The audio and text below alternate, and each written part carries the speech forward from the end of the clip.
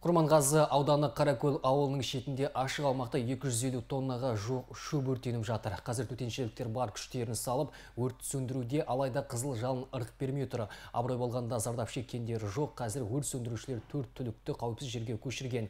Әзірге өрттің себеп салдары анықталып жатыр. 24 жылғы 28 сәуірде сағат 19.22-де Атырау облысы Құрманғазы ауданы Мақасөлі округіне қарасты шаруа қожалықтарының бірінде 2 шаршы метр аумақта 250 тонна орама шөптің жануы болды.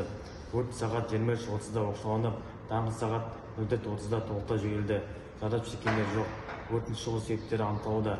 Өрт сөндіруге Атырау облысы төтенше жағдайлар департаменті Құрманғазы ауданы нөмір 7 өрт сөндіру бөлімі 9 меткер бір бірлік техника жергілікті атқарушы органдар бес ерікті үш бірлік техника сонымен қатар ауыл тұрғындарынан он адам жұмылдырылды